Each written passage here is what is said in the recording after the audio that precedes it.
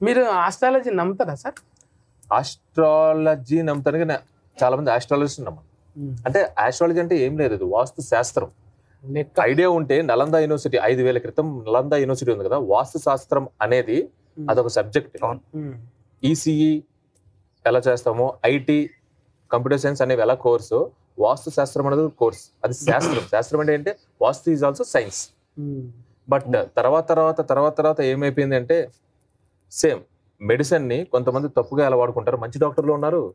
అలాగే దాన్ని బిజినెస్ కోసం ఆస్ట్రాలజీ అంటే ఏంటి? ఇప్పుడు ఫ్యూచర్ చెప్పడం కదండి. ఇప్పుడు మనం వెదర్ వెదర్ చెప్తాము. వెదర్ గురించి ఎట్లా తెలుసు? త్రీ ఫోర్ డేస్ ముందు నుంచి. అదొక సైన్స్ అది. సేమ్. సో ఇప్పుడు అడిగిన క్వశ్చన్ నేను ఎందుకన్నా అంటే కరెక్ట్.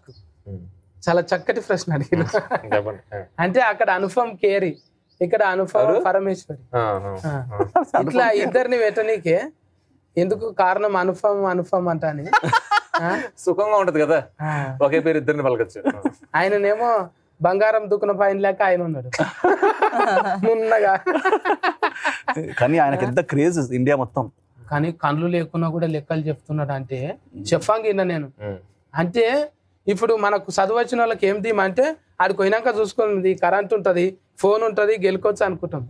కానీ ఏం తెలియనోడు చదువు రానోడు ముందే ఇంట్లో పెట్టుకొని పోతాడు. ఆయన కరెంట్తో పని లేదు. గాలి దుంబాలంతో పని లేదు.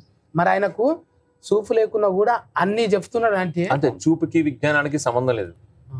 ఇది లాజికల్ అర్థమైంది. అదే కాకుండా ఇప్పుడు అంటే అనుపమ్ ఖేర్ టాపిక్ వచ్చింది కాబట్టి ఆయన హిందీలో ఆయన ఫ్రెండ్స్ కానివ్వండి అందరికీ ఒక ఫైవ్ హండ్రెడ్ పీపుల్ ఆయన పిలిచి మీడియాని అనుపమ్ ఖేర్ గారు పిలిచి ఈ సినిమా చూపిస్తున్నాడు ఢిల్లీలో.